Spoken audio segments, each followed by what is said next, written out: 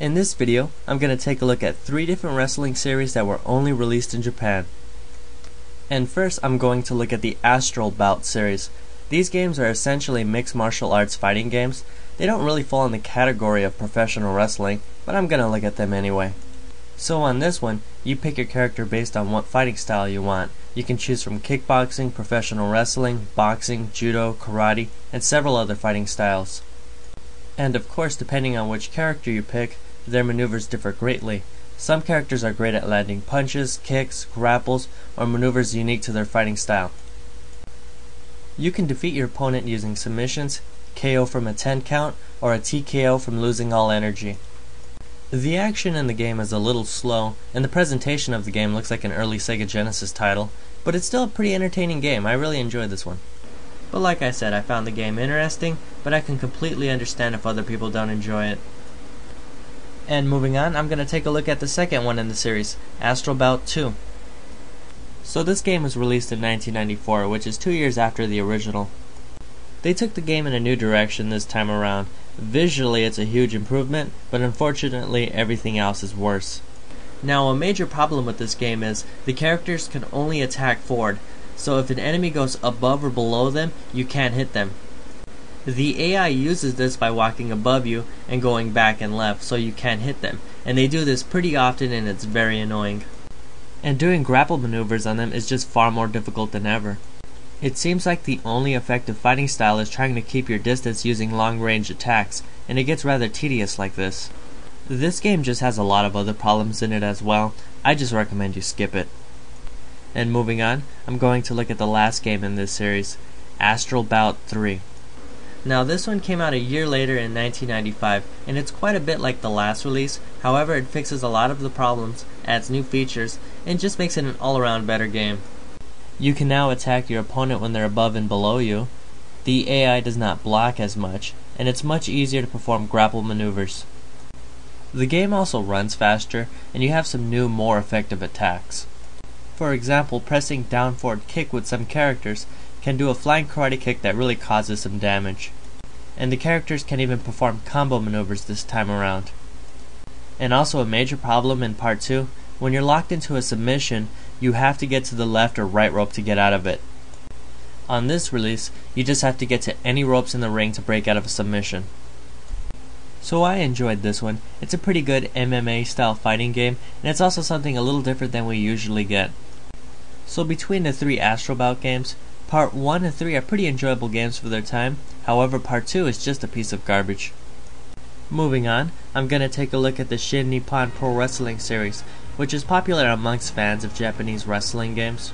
The series uses the New Japan Pro Wrestling license, and this original one was released in 1993. When this game came out, there were definitely some more enjoyable games that came out that year and before it, however, it's still not that bad. The game has 10 playable characters, and each have their own set of moves. Just so you guys know, most Japanese wrestling games use a time-based grappling system, just like Fire Pro Wrestling. So when you lock into a grapple in this game, you don't button mash, you just press the button once at the right time. Now the character sprites don't look half bad in this game, however the characters only have a couple of moves, and the animation is really choppy. And there's no ground submissions in this game, you can only attack your opponent on the floor. So this game doesn't offer too much, and after a few battles, it gets kind of old. Moving on, I'm going to take a look at the sequel, Shin Nippon Pro Wrestling 94. This game is very different from the original, and it takes the series into a nice direction. The game has 20 characters, each of course with their own unique fighting style. Visually, the game looks a lot different. In fact, it looks a lot like Super Double Dragon now. So some great improvements in the grappling system are you have a lot more to do, and you can even perform them from behind. You can also perform ground submissions now, which is definitely an important aspect for wrestling games. So the game runs better, we don't have that choppy animation, the control's more responsive, it's really just better in every way. Some problems with this game though, when you start a round, the characters have these long ass introductions that you can't skip. It really hurts the game for me. The action in this game is also still a little slow. When you see those characters running, it's almost like they're barely moving. So it's definitely a better experience than the last one, however, I still wouldn't recommend it. Moving on, I'm going to take a look at the next and last one in the series, Shin Nippon Pro Wrestling 95. This one is really a lot the same as the last one, however it fixes some of those major problems and makes it an all-around better game. This game once again features 20 characters, which is still plenty in my opinion. This game has cool short entrances, unlike part 2 which had those long ass drawn out ones you couldn't even skip. Now something you're definitely going to notice from the get-go is this game is a lot faster. In fact, it seemed too fast for me at first, but really what happened is I was just so used to the other games being so slow. The controls themselves also feel very much the same. One new aspect you're going to find in this one though, they added a block button, which is very similar to the block button in the Fire Pro Wrestling games. So all in all, they made a much more gratifying wrestling game here, and if you're a fan of Fire Pro Wrestling, I think you're going to enjoy this one as well. Now, the Super Fire Pro Wrestling games do offer a lot more, but this is an entertaining alternative. And moving on, I'm going to look at the Zen Nippon Pro Wrestling series, which used the All Japan Pro Wrestling license. And like I mentioned in one of the other videos, this game was actually used to make Natsume Championship Wrestling here in America.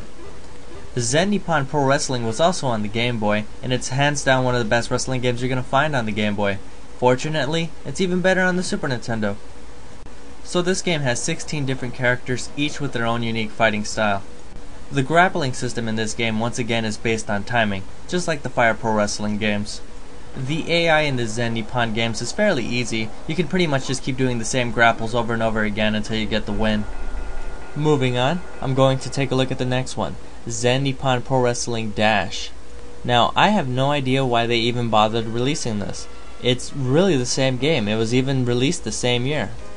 I think this game has a little more emphasis on tag mode, however that was an option on the original release as well. So that's all I really have to say about this one, it's pretty much the same game, I don't understand why they released it again. And moving on, I'm going to take a look at the next release, which really isn't that much different either. Zen Nippon Pro Wrestling 2 3-4 Budokan. So this game was released in 1995, which is a two year gap from the other games, yet it's not that much different at all. So visually, as you can see, the game looks very much the same. In fact, it's even recycling character sprites. You might notice they added some cameramen in the background there, and occasionally the ring shakes. Doesn't quite justify a sequel in my book. Either way, it's still a very entertaining game, and if you want to try any of them, it might as well just be this one. Lastly, I'm going to take a look at Zen Nippon Pro Wrestling Fight da Pon, which really isn't a part of the series, this is an RPG made by the same people. So something I definitely know about this game, if you want to play it, you better know Japanese. And with that said, I'm gonna go ahead and end this video. Well, this was 3 of 4, one more video to go. I'll be touching on the more obscure games in the last video. Until then, you guys take it easy.